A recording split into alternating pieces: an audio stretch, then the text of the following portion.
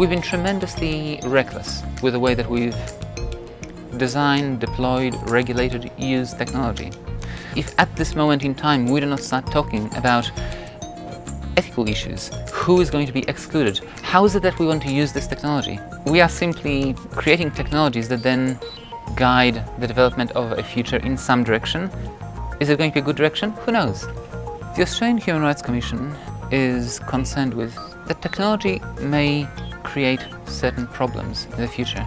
It may impinge on certain people's rights. Artificial intelligence is being deployed across so many different areas, and at the moment we are thinking of introducing autonomous vehicles. That is going to have massive implications for us. If you have an accident with an autonomous vehicle, there will be an assumption, a presumption against you of fault.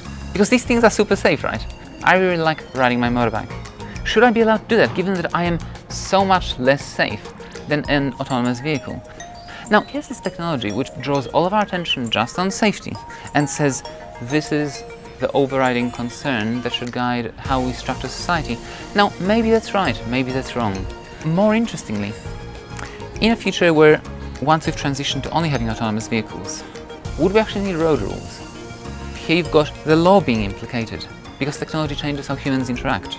So that's probably one of the most important things that I would hope to gain through my involvement with the Australian Human Rights Commission and with uh, the Centre for Social Justice and Inclusion to be able to have the conversations that make it possible to ask those questions.